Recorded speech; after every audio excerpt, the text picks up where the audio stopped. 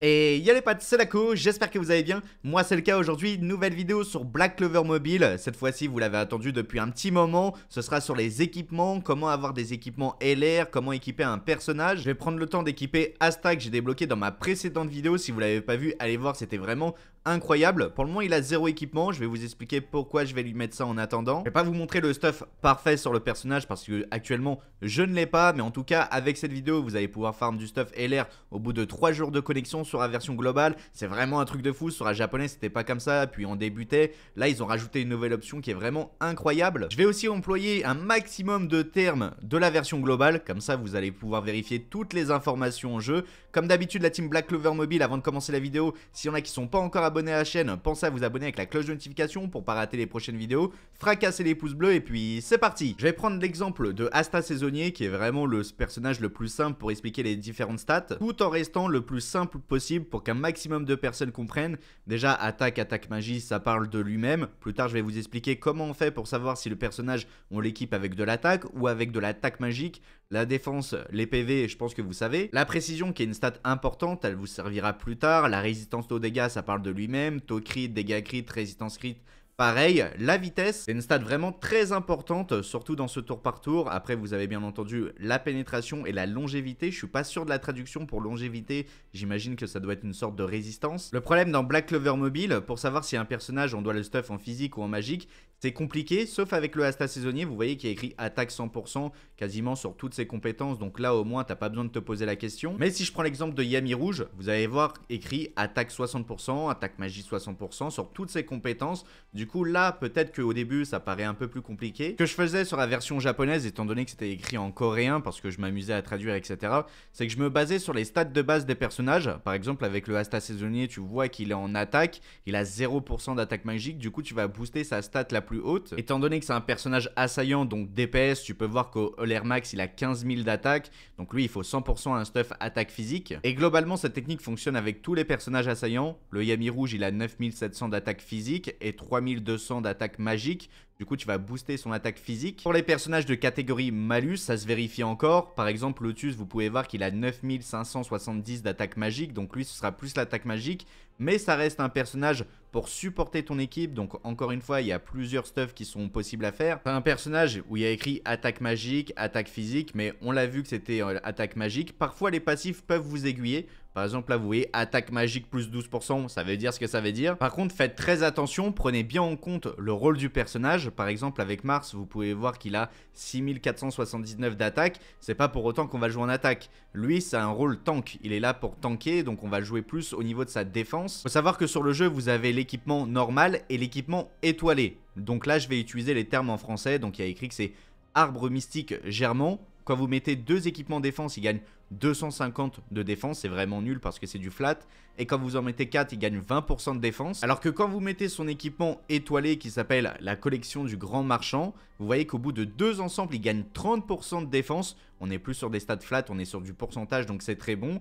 Et au bout de 4 ensembles, ça confère 40% de def augmenté et une fortification de 8%, donc on ira plus là-dessus. Pour farmer les équipements étoilés, c'est pas dans tous les niveaux. Je vais prendre l'exemple par exemple du donjon 8. On va regarder les récompenses et ici, il n'y a que l'arbre mystique germant qui est disponible, on n'a pas le stuff avec la petite étoile. Alors qu'à partir de l'étage 10, il y a l'arbre mystique germant dans la récompense, mais on a aussi l'équipement avancé ou l'équipement étoilé. Moi je préfère dire l'étoilé parce que je trouve ça plutôt stylé. On a bien la collection du grand marchand qui est disponible. Étant donné que Mars occupe le rôle d'un tank, on lui met de la défense, du coup on va lui mettre les 4 stuffs étoilés. Et en plus de ça, on va lui mettre deux équipements PV étoilé, donc vestige du manoir de glace, parce que quand vous mettez deux ensemble, ça va augmenter ses PV max de 7%. Et quand vous améliorez des équipements, sur chaque équipement, vous avez des sous-stats. Alors plus vous avez un équipement rare, par exemple SSR, UR, LR, plus il y a de sous-stats à débloquer. Et plus la stat de base est élevée, par exemple en SSR plus 4, c'est à 652 et en UR plus 8, c'est à 1269. Alors à chaque fois que vous allez améliorer l'équipement, ça va augmenter aussi la stat de base. Donc sur les tanks, vous allez essayer d'avoir la stat de base PV sur vos équipements avec des sous-stats résistance aux dégâts, défense en pourcentage, résistance en pourcentage. Sachant que par exemple les baguettes c'est soit de l'attaque physique, soit de l'attaque magique. Vous pouvez pas avoir des baguettes en PV. Par contre, les baguettes, même si la stat de base est soit magique, soit physique, vous pouvez très bien avoir du PV pourcentage dans les sous-stats en dessous. Donc on a vu que Mars était plus du physique, on essaierait d'avoir une baguette physique avec des sous-stats PV pourcentage. Donc vous l'avez compris, en sous-stats pour les tanks, on va plus chercher euh, de la résistance, euh, de la défense, des PV pourcentage, un maximum. Et pour les DPS, on va plus essayer de trouver de l'attaque physique en pourcentage, du dégât crit, un petit peu de taux crit en sous-stat parce que vraiment les sous-stats des taux crit sont vraiment très élevés sur le jeu. Maintenant je vais vous expliquer la stat vitesse, c'est une stat très importante étant donné qu'on est sur un tour par tour. Donc je vais le mettre au max et vous allez voir que la stat vitesse va augmenter de mon personnage. Au début il était à 116, maintenant il est à 118, je vais le mettre LR il est à 120 et quand vous allez le mettre au max normalement il va gagner encore, là il passe à 124 et vous pouvez vérifier ça avec chaque perso, par exemple LR une étoile c'est 103 et puis après on va aller au max ce sera 109. La vitesse va faire que la barre jaune en dessous votre personnage va se remplir plus vite et du coup vous allez jouer plus souvent. C'est d'ailleurs pour ça que ce personnage en rareté SR fait que votre équipe va commencer premier en PVP parce que ça applique un bonus de 20% de mobilité augmentée, donc il augmente la barre jaune directement. Vu qu'il a beaucoup de vitesse, sa barre jaune elle est remplie en premier, et ensuite il fait sa spé, et du coup toute votre équipe va avoir la barre jaune remplie. Et c'est aussi pour ça que Lotus est un personnage vraiment très puissant sur le jeu, parce qu'avec sa compétence ultime, il a des chances de réduire la vitesse à un personnage, ce qui va faire que sa mobilité va être réduite, et en plus de ça, sur son attaque de base en AOE, il peut directement réduire la barre jaune, ce qui va faire que ça va décaler le tour de l'adversaire. Et c'est aussi pour ça que Vengeance est un excellent personnage, parce qu'il va augmenter la vitesse d'un allié, et il a 60% de chance d'appliquer un bonus de 10% sur la mobilité, donc sur la barre jaune directement, ce qui va faire que vous pouvez prendre un tour avant l'adversaire. Si vous regardez bien la tier list que je vous ai proposée, quasiment tous les personnages ont soit un tour supplémentaire, soit une compétence qui augmente leur mobilité, ce qui va faire que vous allez jouer plus souvent. C'est une stat qui est principalement utilisée pour le PVP, mais plus tard en PVE, même maintenant en réalité, ça peut vous donner un avantage sur vos adversaires. La précision, c'est surtout une stat qui est important avec les personnages qui mettent des malus, donc comme Lotus, c'est vraiment important. Là au moins avec cette vidéo, vous avez compris comment équiper un personnage. Alors bien entendu que je pourrais vous montrer les stuffs parfaits, je le ferai dans une prochaine vidéo. Par exemple, vous avez ce screenshot là avec le stuff PVP pour Lotus ou le stuff pour les donjons, donc PVE pour Lotus.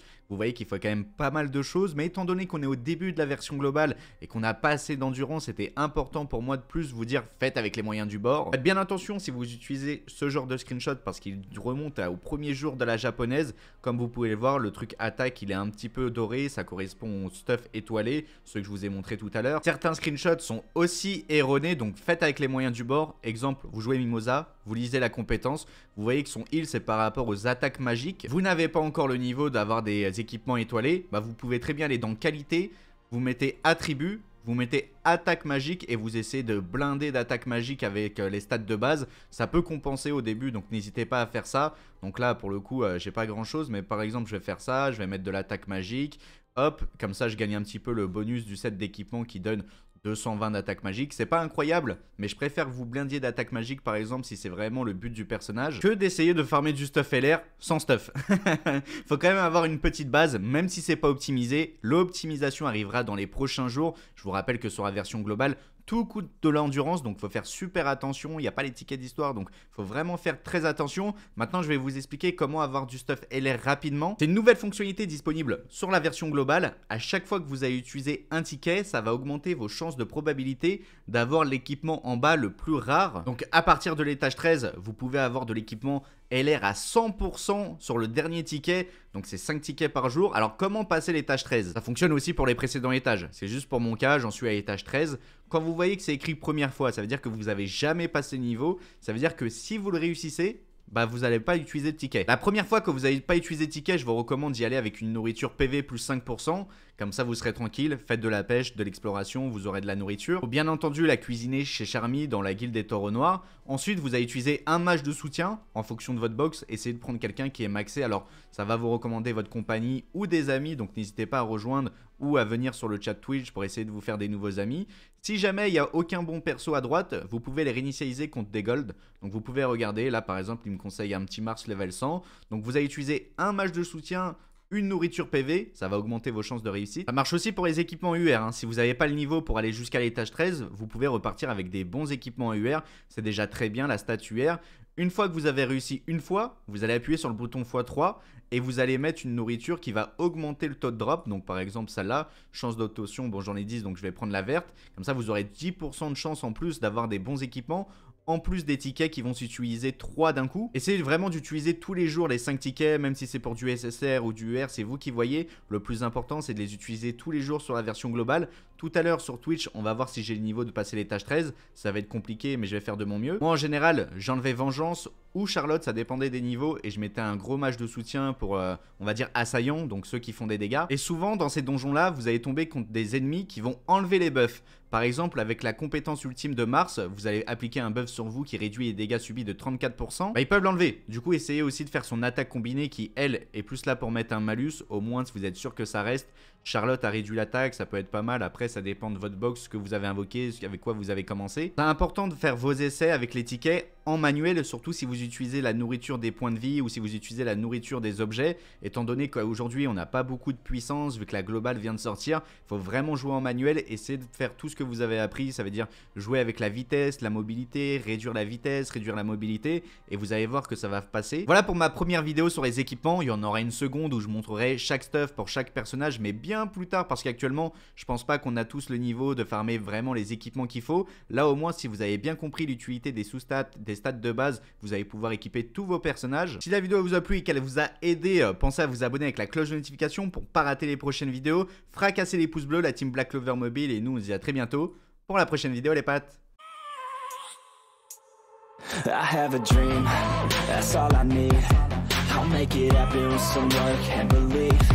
Know what I want, so I'll take it on.